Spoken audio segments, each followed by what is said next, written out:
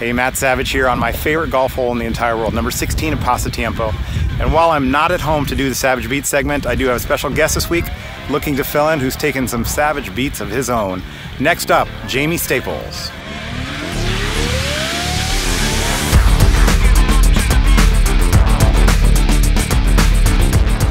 Hello, everyone. My name is Jaime Staples, and I am incredibly honored to be guest hosting the Savage Beat of the Week.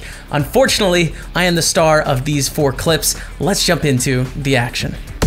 So we're gonna kick it off here, and I am in the bubble of a $3,200 satellite right now. I am the shortest stack in the tournament, but 26 pay, 25 get a full seat. All I need is to win with the King Jack. How could I not win with the King Jack, right? It's a beautiful hand, it's folded around to me. What are the odds that the big blind has a better hand than me? What are the chances?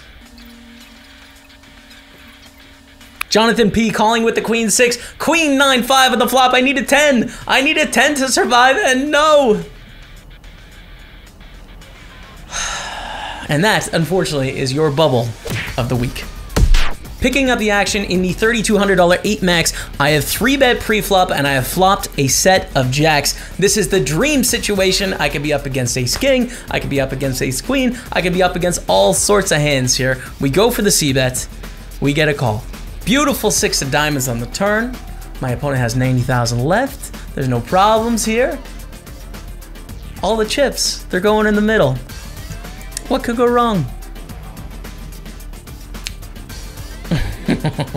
it's still, honestly, it's been a week. I'm recording this a week later. You can't, it just, that's not okay, poker gods. That's not okay. In a 3200 championship event buy-in of the WPT WOC, no, thank you. That is your sunken boat of the week. Back to the $3,200 8 max. I'm sitting a little shorter now after that tragedy. I pick up the nut flush draw against Michael Kane with Patrick Leonard in the pot as well. Loving this hand, need to pick up some chips, and I decide I think it's time we go with this. I mean, A6 of diamonds is pretty good. Nut flush draw. Maybe I can get him to fold something like a straight draw or, or you know, uh, a small pair that might bet here. So we're gonna go for the raise. Put it in to 48,000. What are you going to do, Michael? Michael Kane gets it in. We got the A6 of diamonds, but boom, on the turn, it's the seven. The full house, flush on the river, but it doesn't matter. It's not good enough. That is your flushed away moment of the week.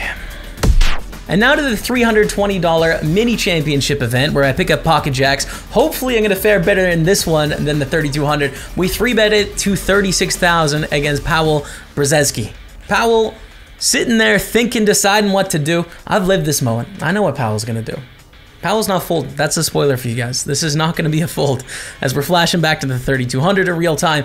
But here it is. Powell putting in the chips in a moment here. There it is, all in with the jacks. We call it off. 33 blinds against ace queen. Big spot, big moment, big flip in a big tournament. Six of hearts, fade it. No. Uh-uh. King of hearts. I got the clap going on there. I got the clap going on. Wasn't happy about that, and that is your flip of the week.